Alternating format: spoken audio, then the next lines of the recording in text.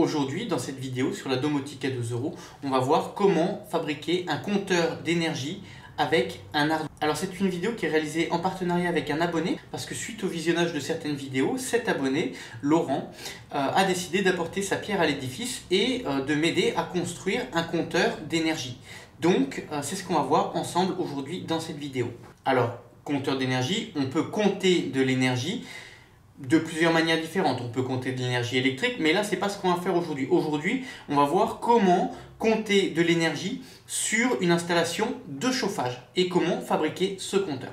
Alors donc cette vidéo, déjà elle se base sur plusieurs vidéos que j'ai déjà faites par le passé. Donc déjà une vidéo qui présente euh, la formule qu'il faut utiliser pour calculer euh, une énergie sur une installation de chauffage. Prenons le cas par exemple d'un radiateur, il reçoit de l'eau chaude, il dissipe sa chaleur et puis ensuite l'eau elle repart.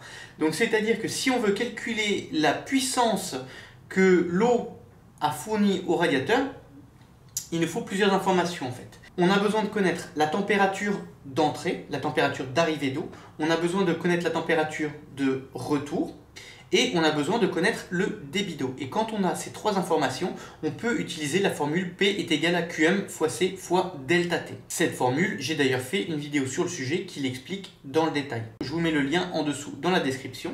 Et ensuite, suite à ça, suite à cette vidéo, euh, j'avais réalisé, j'avais mis au point un système de récupération de chaleur sur les eaux usées d'une douche. C'est-à-dire qu'on récupérait bah, l'énergie qui était évacuée euh, au niveau des évacuations et eh bien pour calculer euh, cette énergie récupérée, j'avais construit en mode euh, bricole, bidouille, euh, un système qui permettait de compter l'énergie, mais bon, un système un peu bancal quand même. Et donc suite à ça, on a Laurent qui m'a contacté, qui est un, un passionné de chauffage, un passionné de plomberie comme moi, et qui programme également en C++ et qui a proposé d'apporter sa pierre à l'édifice en proposant de mettre au point un shield euh, qui, se monte sur un Arduino et puis qui permettent de faire un compteur d'énergie avec un Arduino. Et donc ensuite, avec les plans qu'il avait fait de ce circuit imprimé, j'ai passé commande chez une boîte chinoise qui s'appelle JLC PCB. Et puis, ils m'ont envoyé un package comme ça de 10 circuits imprimés pour 5 dollars. Frais de port inclus. On est sur des circuits imprimés, je ne sais pas si vous voyez la qualité du circuit, c'est impressionnant, c'est du circuit imprimé professionnel.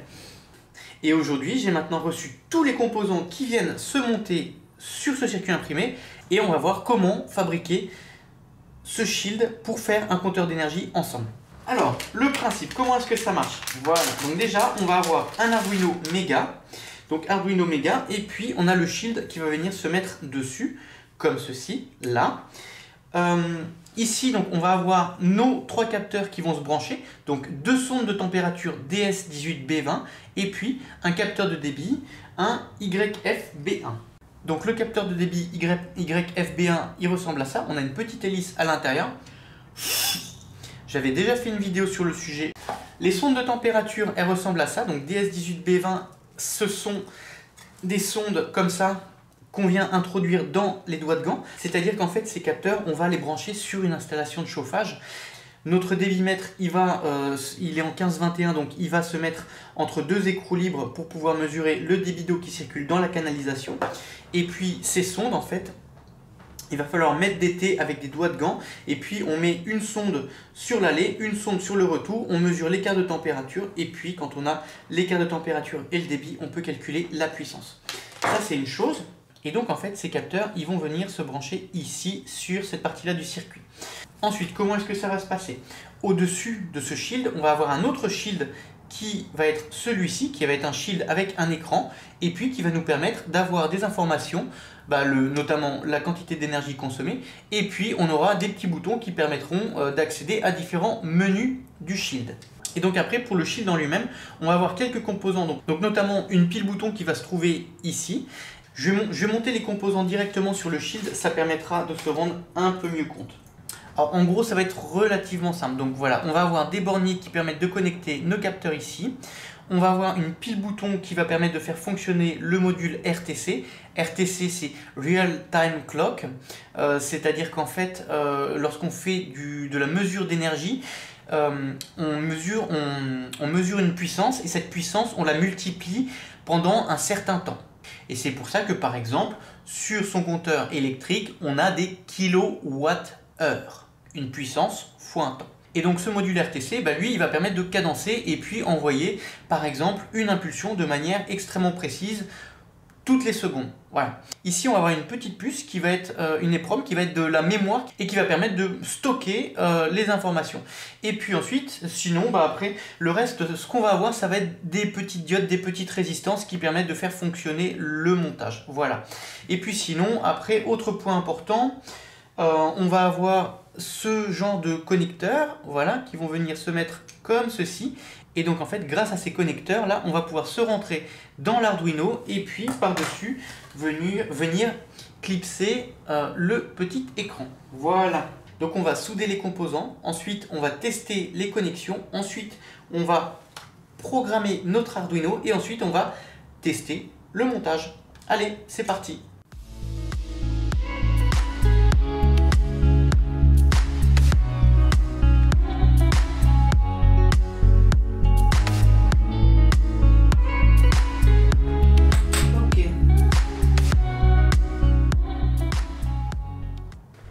On a un petit connecteur comme ça, hop, qui fait la connexion entre notre Arduino Mega et ici, là, c'est le petit au milieu. Ok.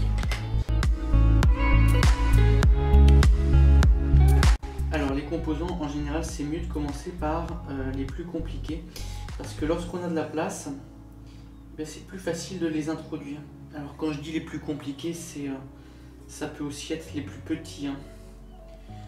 Parce que lorsqu'il faut aller glisser ses doigts au milieu de composants qui sont euh, gros, pour en introduire un tout petit tout petit, ben, c'est plus compliqué.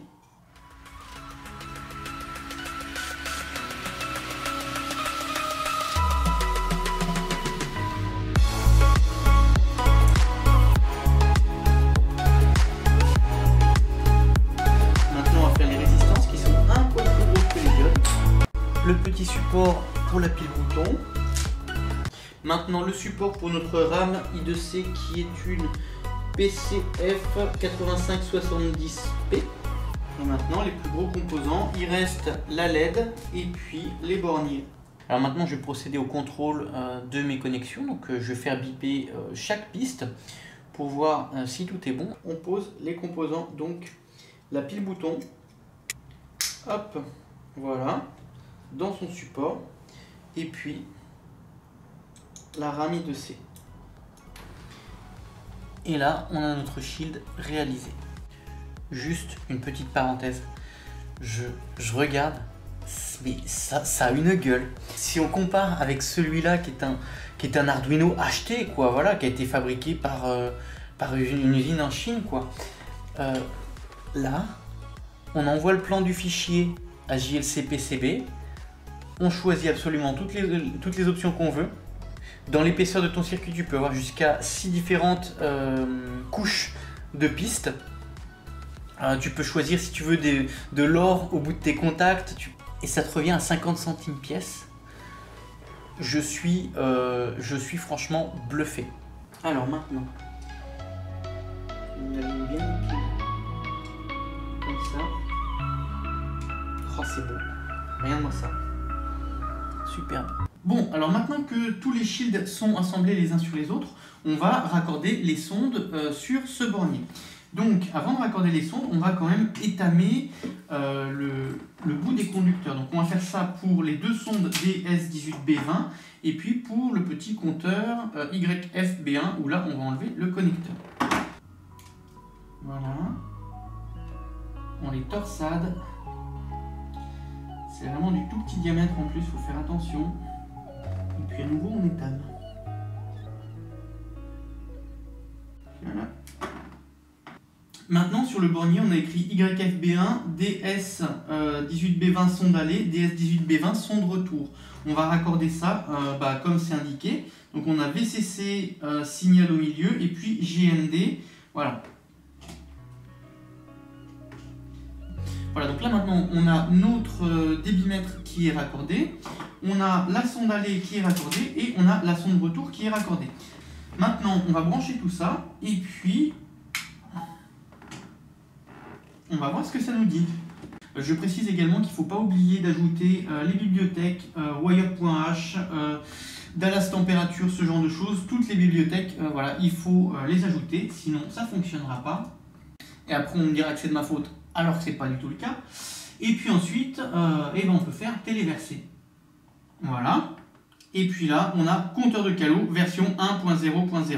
Température de départ 28 degrés, donc ça c'est la sonde qui est dans le radiateur qui est là. Et puis ensuite, on va descendre température de retour 25,2, delta T 2,75 degrés, débit, bah, débit, si je prends le capteur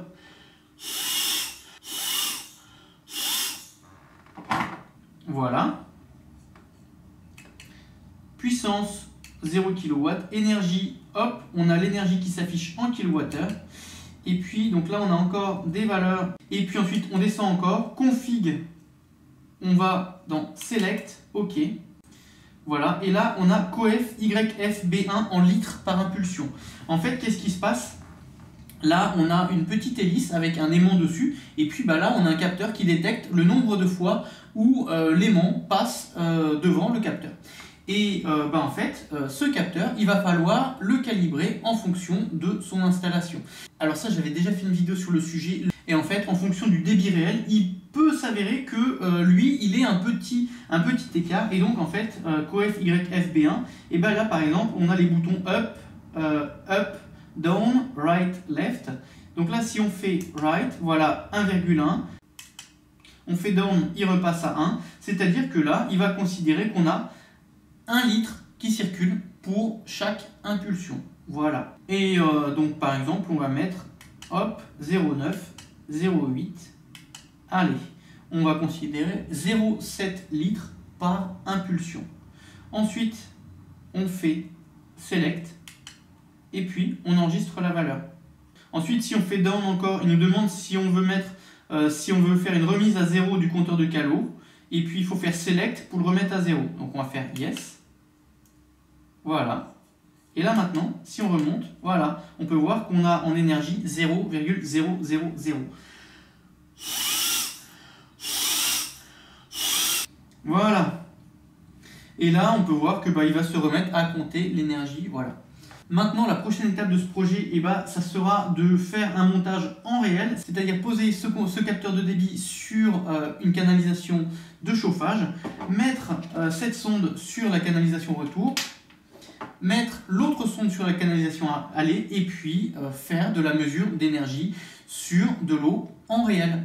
également, précision concernant le shield avec l'écran LCD et les petits boutons. je précise que lorsque j'ai réalisé ce montage et lorsque j'ai euh, injecter le code, et eh bien j'ai utilisé d'autres shields et puis euh, ça n'a pas fonctionné du premier coup. J'ai dû changer le shield et en fait euh, en cherchant un petit peu et puis en, en, analysant le code, et eh bien il nous avait même mis une petite, une petite remarque disant que la, enfin, lorsqu'on appuie sur un bouton en fait, et eh ben ça envoie une certaine valeur à l'Arduino et bah, les les shields n'envoient pas tous les mêmes valeurs pour chaque bouton. Donc, euh, j'ai eu ce problème-là et peut-être que euh, tu l'auras également.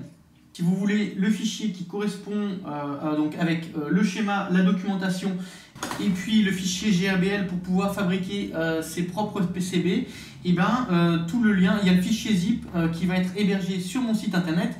le lien est en dessous dans la description. Donc du coup, un grand merci à cet abonné qui a fait euh, ce montage. Il aurait très bien pu faire son petit montage dans son coin et euh, garder, euh, garder ses fichiers pour lui. Au lieu de ça, il m'a tout envoyé. Aujourd'hui, ça bénéficie à la communauté. Et c'est pour ça, je vous le dis, si jamais vous avez d'autres montages dans le même genre, eh bien, n'hésitez pas à entrer en contact avec moi par le formulaire de contact de mon site internet. Et puis moi ensuite, euh, bah, exactement comme j'ai fait pour ce montage, je commanderai les composants et euh, je ferai un partage sur la chaîne YouTube pour que ça puisse aider d'autres euh, abonnés. Et puis sinon, bah, si tu as aimé cette vidéo, n'hésite pas à mettre un like, un commentaire et puis à partager. Pour ma part, je te souhaite bon courage pour tes projets et je te dis à plus tard pour la suite. Allez, ciao